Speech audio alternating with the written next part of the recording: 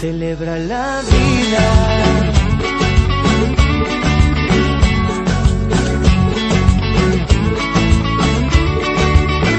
Piensa libremente, ayuda a la gente. ¡Salimos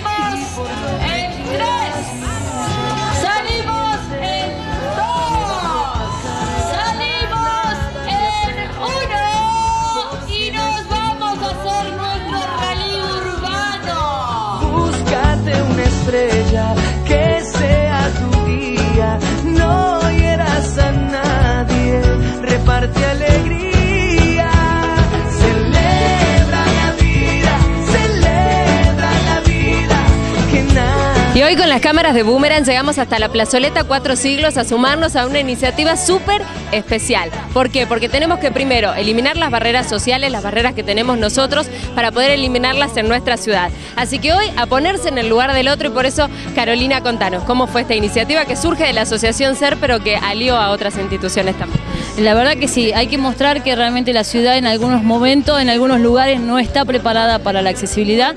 Eh, nosotros somos una institución con 30 jóvenes, eh, la mitad lo tenemos en silla de ruedas, la otra mitad tiene movilidad reducida y la verdad que esta fue una muy buena propuesta, se trabajó bastante y bueno, para poder llevar a cabo esto eh, invitamos a la institución Irpase también, trajo sus chicos, a Nidar, a Dana y bueno, poder hacer una manifestación, pero una manifestación pasiva, donde la gente pueda ponerse en el lugar del otro. Eh, trajimos silla de rueda para que la gente pueda probar también eh, lo difícil que es para nosotros poder llevar a nuestros jóvenes si queremos salir a la calle y la verdad que está muy bueno. Hay que tener una ciudad, como dicen, Salta la linda, más linda que nunca, pero a, a veces Inaccesible. inaccesible. Entonces, Teníamos algunos carteles que prepararon los chicos que decían lo difícil es circular en una ciudad discapacitada, no tener una discapacidad. Exactamente. Y sí, bueno, eh, la gente no respeta las señalizaciones.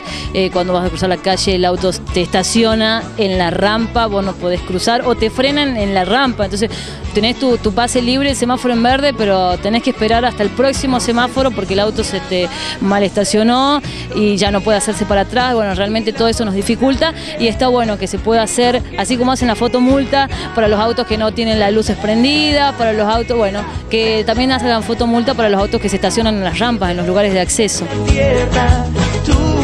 Mejor semilla. Celebra la vida, celebra la vida, que es mucho más bella. Pero ¿cómo tomó hoy la gente subirse a una silla de rueda y experimentarlos por ellos mismos? Eh, y bueno, por ahí hay de todo, digamos. Movilizadora la experiencia. Eh, es movilizadora la experiencia, venir a acompañar a los chicos, por ahí no subirse en la silla de rueda, pero sí estar al lado de ellos. Eh, a veces la gente ve a una persona, no ve a un montón. Y cuando ve un montón de gente que tiene problemas de, de movilidad, digamos, es un poco más fuerte, es otra experiencia. Y es buenísimo que la gente quiera sumarse, hemos juntado varias firmas y bueno, queremos llevarlo que sean leyes, que, que realmente se, se instaure el Día Nacional de la Accesibilidad el 15 de marzo. Hicieron un circuito ur- urbano y una junta de firmas. Contanos para qué es esa firma que la gente puede poner, plasmar y de esa manera comprometer a las autoridades a hacer una ciudad accesible. Eh, bueno, todo lo que son las, firmas se van a elevar a Buenos Aires, a una fundación eh, que se llama Acceso Ya, eh, bueno, para poder instaurar el Día Nacional de la Accesibilidad y bueno, y poder adju- adjuntarlo también a todas las leyes que hay.